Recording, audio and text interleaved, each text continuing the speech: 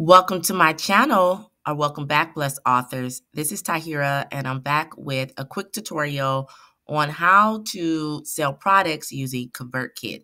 And so I have already set up a product, but I thought, let me share this with my subscribers. Let me walk you through um, this simple uh, tool. And so if you're not familiar with ConvertKit, ConvertKit is how you um, gain email subscribers. It's basically uh, a database database so you can collect emails and then send emails to all of your subscribers. So I have ConvertKit and also they allow you to sell products.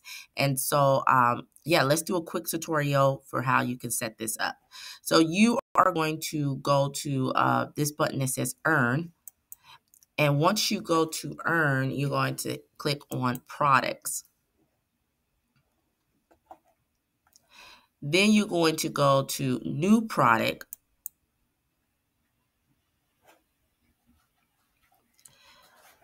and then you're going to enter in your product name. As you guys see, I've already set up one and I'm going to just shorten this because then you have, um, you can do a one-time pay or subscription for this product is just going to be a one-time pay.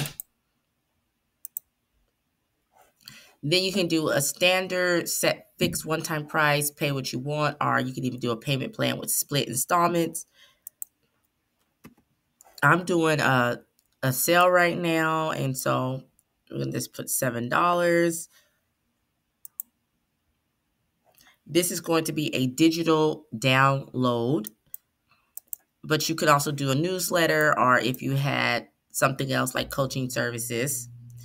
And then here you would upload your file. Now I already have something uploaded, but just for the sake of this, I'm just going to pick uh, anything. This is just a demo. And then your digital product will be right here. That's what the customer will receive. Make sure if you're doing an ebook, it should be a PDF. And then you get to also customize your actual URL. This is what you would give out to uh, start selling. And we're going to put ebook sale.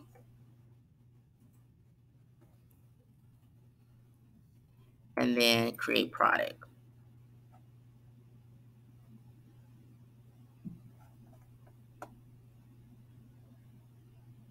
So once you create the product, now you have to um, upload a photo and also you can change the description and then just to walk you through the steps you have the checkout page they kind of come up with you know what it will look like a kind of generic one you can definitely update it if you want then they also get a confirmation your file has been emailed to you along with the receipt of your transaction. Click the link below to download it. So that's what they will receive once they purchase. And then they also get a receipt email. And this is like a generic one. You can also update this if you wanted to say something different. But for now, I'm going to keep it the same. And that's what they will, that's how it will look.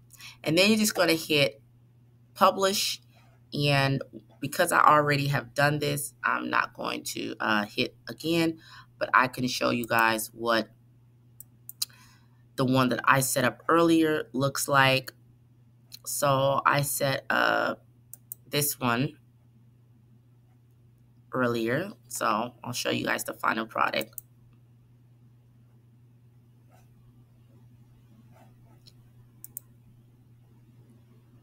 So when you hit view, this is what people will see when you give them the URL that you created.